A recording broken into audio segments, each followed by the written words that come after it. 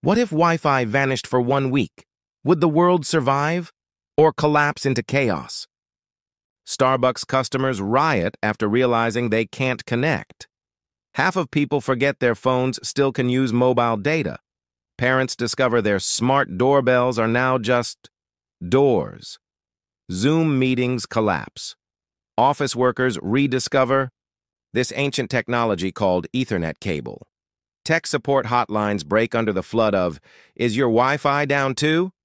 Netflix stops working on TVs, tablets, and consoles. Ethernet? What's that? Billions of people stare blankly. At walls for the first time in years. Piracy spikes so hard even Jack Sparrow is impressed. Alexa won't listen. Smart fridges forget how to fridge. A wave of tragic Roomba suicides begins. Coffee shops advertise, now with Ethernet. Teens experience dial-up speeds for the first time. They do not survive emotionally. Local libraries see more traffic than Google for the first time since. 1998 Wi-Fi smugglers appear, selling sketchy portable routers in dark alleys.